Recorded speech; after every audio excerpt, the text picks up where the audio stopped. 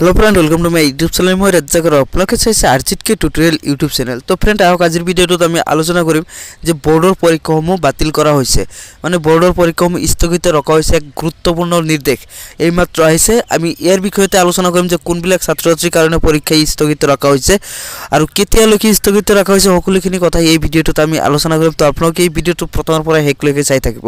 তো ফ্ৰেণ্ড ভিডিঅ'টো ষ্টাৰ্ট কৰাৰ আগতে আৰু এটা ৰিকুৱেষ্ট এতিয়ালৈকে যদি আমাৰ চেনেলটো ছাবস্ক্ৰাইব কৰা নাই প্লিজ ছাবস্ক্ৰাইব কৰিব। এনেকুৱা ধৰণৰ নতুন নতুন আপডেট সকলোতকৈ আগত পাবৰ কাৰণে। তো ফ্ৰেণ্ড আহক আজিৰ ভিডিঅ'টো আৰম্ভ কৰোঁ।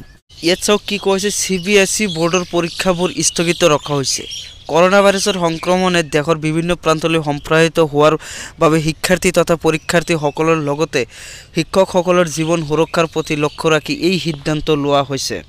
যে কেন্দ্ৰীয় মানৱ সম্পদ উন্নয়ন মন্ত্ৰালয়ৰ সচিব অমিত খাৰে চৰকাৰীভাৱে এই কথা ঘোষণা কৰিছে যে কেন্দ্ৰীয় মাধ্যমিক শিক্ষা সংঘত চি বি এছ ইয়ে ঘোষণা কৰি কয় যে বৰ্ডৰ আগন্তুক পৰীক্ষাসূচী কৰোণা ভাইৰাছ প্ৰাদুৰ্ভাৱৰ প্ৰতি লক্ষ্য ৰাখি অহা একত্ৰিছ মাৰ্চলৈ স্থগিত ৰখা হৈছে।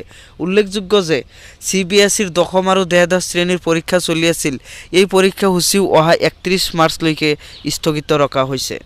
আনহাতে, অনুষ্ঠিত হৈ যোৱা পৰীক্ষাসমূহৰ বহি পৰীক্ষণ স্থগিত ৰখা হৈছে বুলি ঘোষণাটোত উল্লেখ কৰা হৈছে। তো ফ্ৰেণ্ড আজিৰ ভিডিঅ' মানে যদি ভালো লাগিছে, লাইক কৰিব আৰু শ্বেয়াৰ কৰিব।